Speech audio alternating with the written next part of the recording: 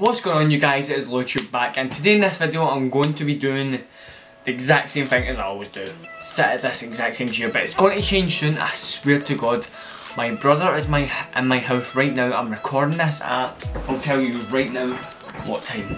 Uh, it is 20 to 11 I need to, I need to get this video up by uh, 12 so it's just going to be a short video which my brother my brother's in my house right now and we are talking about like stuff in life in general. And I don't like it actually really hit me because he said um, like about sharing videos now online and like not caring what other people think and I think that's totally true. I think I should share my videos on Facebook, Instagram, the lot, update you guys when videos are coming out on my channel and I, I really do need to do that to like a bigger channel as I want. Like, I want YouTube to be like my full-time goal. Sorry about that, I was adjusting the tripod.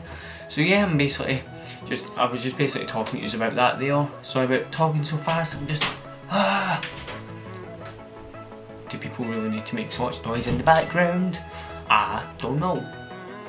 So, all I'm really going to say is thank you Alex for all what you said, it really, really did mean a lot and I totally, as I said, I do totally agree with what you said as people can be dicks out there, sorry for the language, people can be dicks about your videos.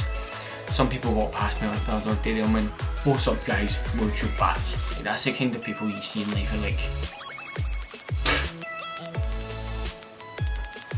you just sit back and look at them and like, they're going nowhere in life, nowhere.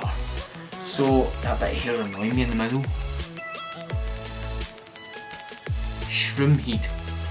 So thank you for listening to that like a little talk I had here. I need to get this video up so fast as can't miss a day of daily uploading.